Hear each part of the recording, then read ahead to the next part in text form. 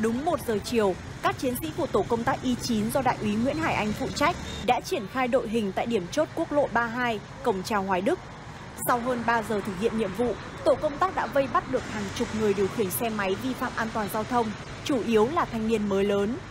Và quên, luôn là câu cửa miệng mà các bạn trẻ này nói tới khi được hỏi về lý do vi phạm. Em có bị bắt như này không? Không ạ, bình thường em đi đầy đủ lắm nhưng hôm nay em quên ạ. Em không đội mũ bảo hiểm, không uh, giấy tờ xe ạ, cả không gương ạ. Bố mẹ mang giấy tờ xe đến cho mình thì không biết là về bố mẹ có mắng mình không nhỉ? Cái cái đấy em không biết ạ. Em có sợ về bố mẹ mắng không? Dạ em hơi hơi ạ.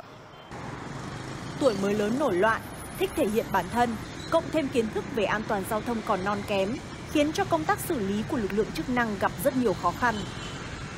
Thì bây giờ hết giờ rồi còn lấy giờ lấy cái gì nữa?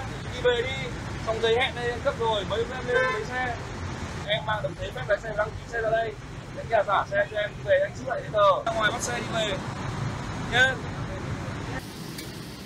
Không chỉ xử lý các hành vi vi phạm trật tự an toàn giao thông, tổ công tác Y9 còn phát hiện ra nhiều dấu hiệu hình sự nguy hiểm thông qua hoạt động kiểm tra hành chính. Các đối tượng mà để ờ, kiểm tra về hành vi ờ, về ma túy có thể cất giấu rất kỹ hoặc là kẹp ở tay hoặc là cất ở trong bình xăng hay là tất cả những cái gì ở trên xe mà có thể tránh được cơ quan chức năng kiểm tra. Có những đối tượng đã bị ờ, nhiễm HIV cũng rất nguy hiểm. Khi trong công tác kiểm tra mà chẳng may anh em có quệt tay, quệt chân mà dính máu với nhau là rất dễ để lây nhiễm có những đối tượng mang theo vũ khí thô sơ là dao và dùi cui ba khúc cố tình chống trả lực lượng chức năng là chuyện rất bình thường của chúng tôi. Nhưng mà anh em thì trên quan điểm là đây là nhiệm vụ công tác của công an thành phố giao. Chúng tôi luôn phải thực thi đúng chức trách nhiệm vụ kiên quyết giảm tội phạm xuống mức thấp nhất để cho thành phố luôn được bình yên. Bên cạnh đó, việc đổi mới cách thức tuần tra bằng việc hóa trang cũng đã góp phần ngăn chặn đáng kể tình trạng thanh thiếu niên mang theo đao, kiếm, vũ khí nóng, chạy tốc độ cao lạng lách gây nguy hiểm cho người đi đường.